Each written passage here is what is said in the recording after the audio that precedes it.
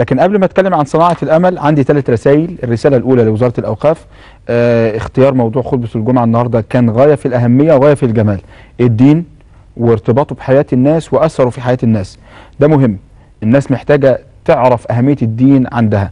الدين مش مجرد صلاة وصوم وعبادة الدين رسالة روح رسالة أمل.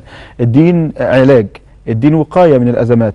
كان لازم الناس تفهم المعنى الشمولي للدين مش المعنى القاصر شكر وتحية لوزارة الأوقاف شكر وتحية لزملائي في الإدارة العامة لبحوث الدعوة والفتوى على موضوع الخطبة شكر وتحية لكل اللي بيقعد يعكف على اختيار هذا الموضوع متمثلين في السيد الوزير والجهاز الفني المعاون. آه موضوع مهم. ربنا يبارك فيكم ويعيننا إن شاء الله إن إحنا نقدم دين ربنا سبحانه وتعالى بالشكل الذي يرضيه عنا.